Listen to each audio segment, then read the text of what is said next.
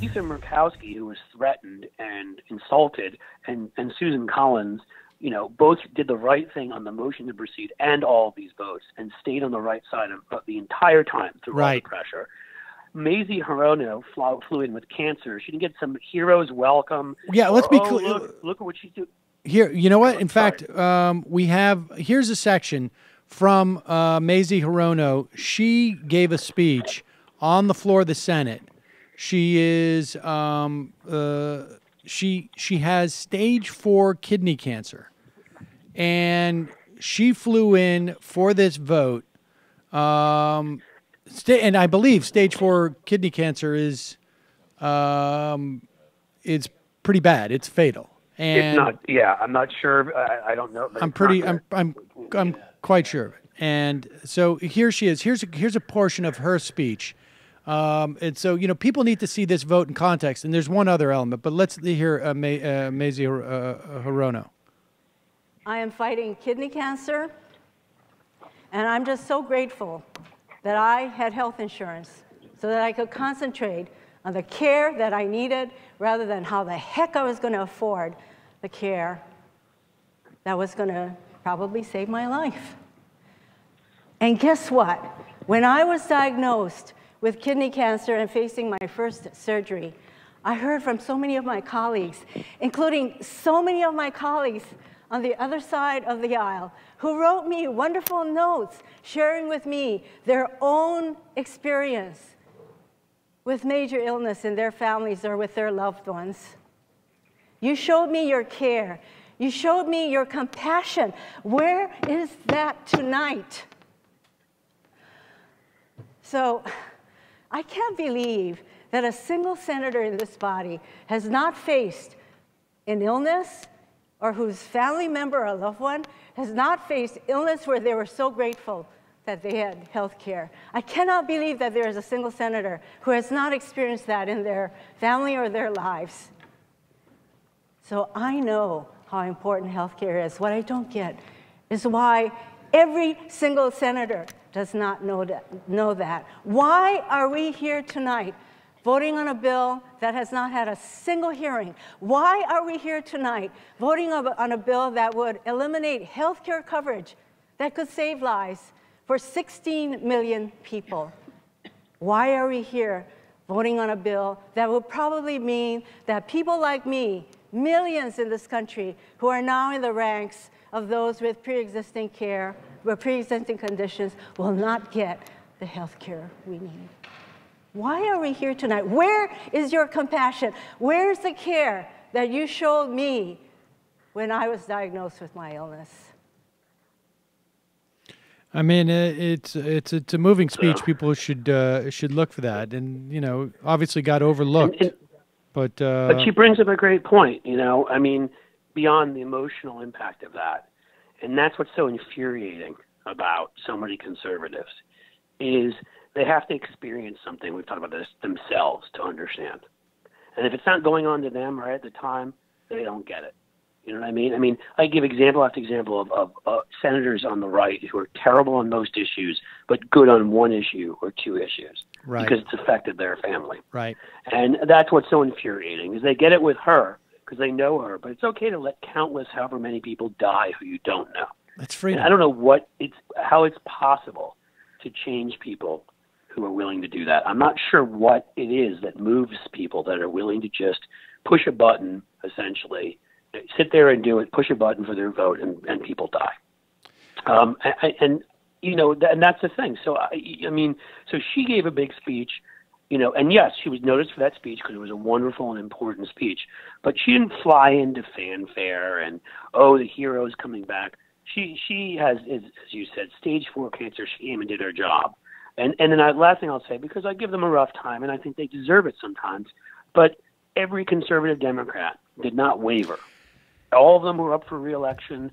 You know, from Manchin to Heitkamp Yeah. to, Mc, to McCaskill, um, you know, and others that are going to be up in conservative states.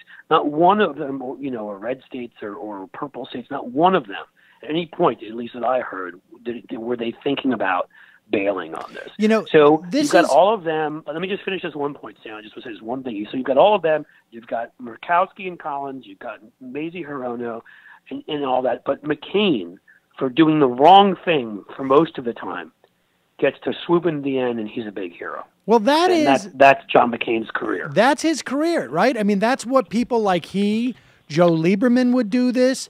Uh, guys like Mm-hmm. Conrad back in the day, and uh, you, they they always made themselves the fulcrum, right? And Yep. you know, this is, um, you know, when they were talking about filibuster reform back in the day before they actually pulled the trigger.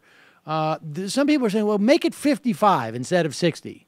But the point that people didn't understand when you make it an arbitrary number aside from, you know, sort of that just pure uh, majority is that these guys will always take a position that will make sure they're the 55th vote or the f- or the 51st vote. I mean, that is what they do. They want to position themselves.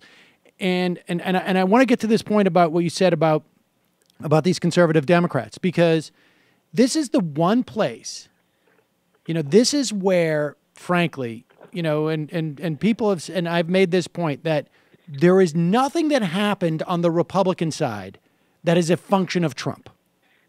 The the, the this That's right. disaster and this inability to pass a bill on the Republican side. It has nothing to do with Trump. It would be the same if it was Marco Rubio. It would be the same if it was Jeb Bush. It would be the same if it was Scott Walker. It, would, it doesn't matter. They they are the same. But the difference is is and I and and I obviously have nothing. This is just a, an, an opinion here, but um, I think that the Russia stuff. When people ask, like, you know, what's the value of it? I think that stuff in tainting Trump on those terms, you know, on the national security terms, is why a guy like Manchin and why uh, a, a, a gal like Heitkamp did not jump over there. That that's the only to that His- is the his approval rating and the bill's approval rating makes them and part of the and and not rating- just his approval rating part because of the bill's approval rating because in West Virginia because of Russia. his approval rating in Russia is still above fifty percent. And I, and I imagine in in, in uh, Heitkamp's is probably uh, in uh, Dakota. North it's- Dakota, same thing, North yeah. Dakota, it's got to be I don't know above fifty percent. I don't know what it's at exactly. And but but they can cling to this notion. They can cling to this notion of of it being. Uh, they can cling to this notion of it being Well, about national process and the guys security. not They- legitimate. Yeah. and and that I think is what where you know that is the story that you can't really you, you're not going to see you ca- you don't see it covered that much and it can't really be written because how do you you know how do you prove a negative in that way um, Right. No, you're right. I think all these things contribute, but the biggest contributor of all, and sort of damaging, the, the you know his Trump's image. I mean, granted, a lot of it he's brought, you know, his stuff he does, his tweeting, his whatever, but all that combined to make it to you know, and and, especially for those running in more conservative states, for Democrats. Who you know they're not going to appeal to the Republican base, obviously, but need to win some sort of Republican-leaning voters um, that is where absolutely the the Russia stuff has damaged and endangered them enough that they can make an argument that this isn't somebody they felt comfortable trusting. They can find reasons around absolutely to justify why they did what Absolutely. they did. and it's much I mean, Um, and- I mean so, people have to uh, contemplate this yeah. Joe Manchin I think if there's none of this Russia stuff Joe Manchin is the f- i- i- is is a Republican today you know I mean like I, I think think like may be true. I, I mean I think they I just come to about it. Yeah. I, I mean, I think Mitch McConnell goes across and says, "We need another vote." And you come over here, man. You'll be a, a, a Republican. You will win in West Virginia, uh, hands down. You'll have no problem. And guess what? You want to be on the Energy Committee? You're going to be. Yeah. we're going to give you some uh, senior membership of the, uh, the the Energy Committee, and boom, My and that's name's it. Mitch McConnell, and I raise dirty money in my sleep. So if somebody primaries you from the right, like happened to McCain and happened Yep. to Cochran and happened to whatever, we will destroy them. Hi, folks. Sam Seder here. We still need your help on our Patreon page. YouTube ads have come back, but not nearly as much as we had before. So if you can help us out, any little bit helps. Head over to our Patreon page right at this URL, and you'll help us keep helping you by making videos